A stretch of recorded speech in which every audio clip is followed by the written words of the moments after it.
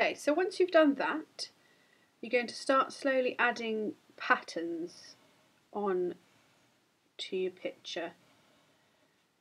And we've worked quite a bit on patterns. So now it's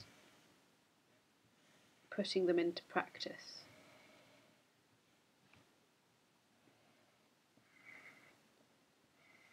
Where do you think the patterns would be going and how are they going to work in the shape of the face that you've made?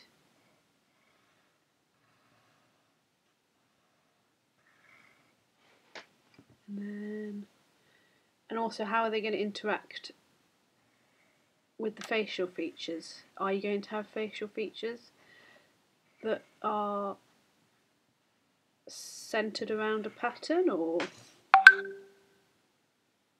anything like that?